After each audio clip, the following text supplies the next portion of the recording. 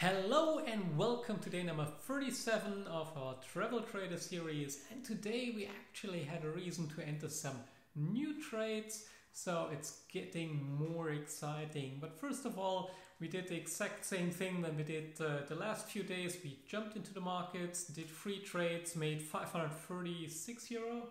Uh, yes, 536 euro in free trades. I will post the results later on again as a picture as uh, you are used to.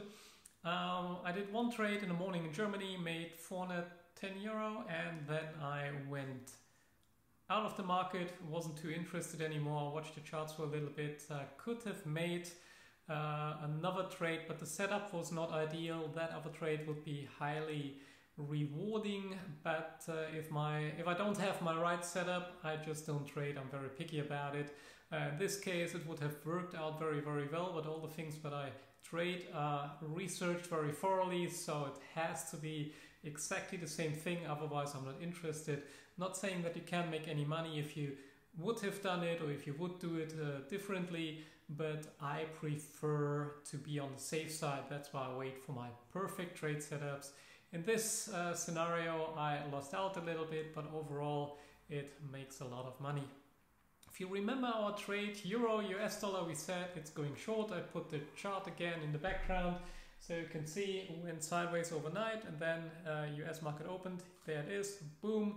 Went further down, we already reached our first target of plus 1200 US dollars. Uh, last time I looked, we were around uh, 1300 in the positive and I moved our target. It's a short trade, so we are making money when the thing goes down and I moved our target away again to uh, plus 2000 uh, US dollars.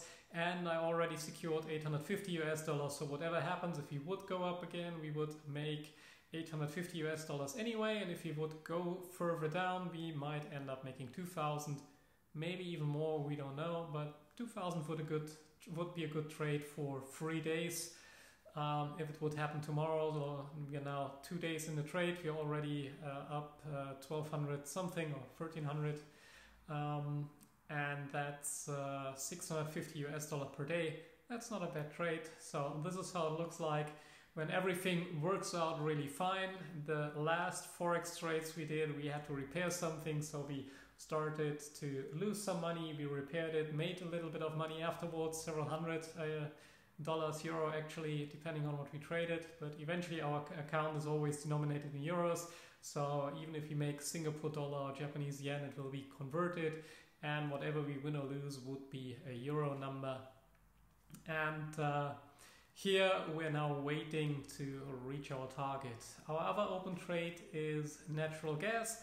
Natural gas still going sideways, pretty boring, but sometimes uh, the best trades will just takes some time and then we start to break out and you make a lot of money with them. Um, you know, good things sometimes take time, so uh, we are absolutely, or I am absolutely happy with it. Uh, the trade is supposed to run for several weeks anyway, so uh, if we make uh, two, three thousand euro with it uh, by March or something, I'm absolutely happy with it. Until then, everything is fine currently down to I think minus 260 somewhere between uh, always goes up and down a little bit. We were somewhere between minus 300 and uh, I think we were nearly in the positive in the in the morning when it started. Um, but that's fine. We'll get there eventually. And if not we can always take the money out again invest in something else and make our money there. We had two new trades today. The first one is a long position in soybeans. I believe that soy prices, soybean prices actually will go up.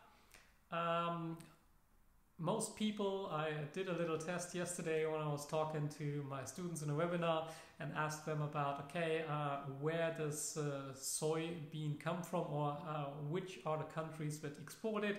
Most people thought it would be China, but uh, it's actually Brazil and the United States. They account for, uh, I think, 85 86% of all the exported soybeans, and uh, they make pretty much most of the market. And uh, On the import side, it's a little bit different. So the biggest importers are the European Union, Japan, and China. We all know what's going on in China at the moment with that coronavirus. So uh, we still have some issue on the demand side, but everything is fine on the supply side.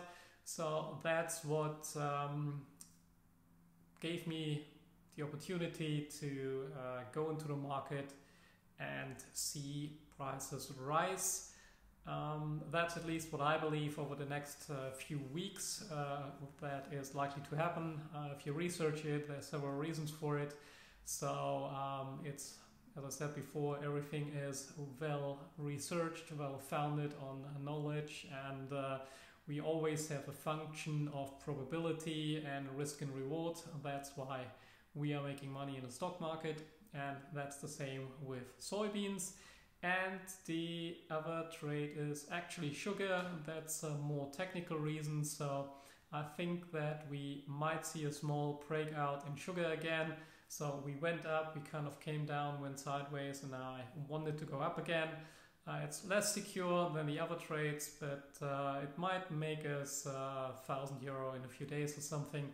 So uh, we will see if it doesn't work out uh, until, let's say, uh, within a week or within seven days, we will cancel it, get something else, and make our money there. I also talked to my students uh, yesterday about the trading for charities. So we will have uh, the day on the 20th of February where we will all trade together and we will find a good cause. If you have any suggestions, please let me know in the comments where we will afterwards donate the money that we make on that day. So uh, that's a great thing that I love to do, and uh, we are constantly looking for charities or for good causes where we can help with. And uh, now it's uh, February the 20th, and um, looking forward to it and uh, getting more money into our account because the more money we have in our account, the more money we will eventually make. So the more we are able to speed it up until then, the more likely we will see bigger sums uh, going out. Last time we donated $1,000 to uh, Australia, to the Australian Red Cross. And uh, let's see what we can do this time.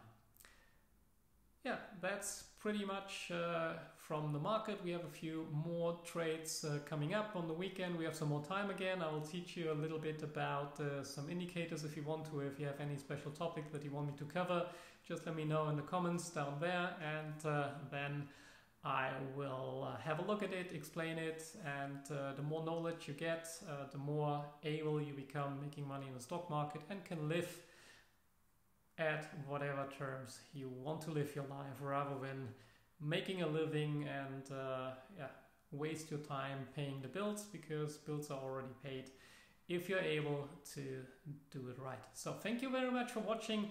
Looking forward to talk to you again tomorrow and uh, have a great evening. Thank you very much. Goodbye.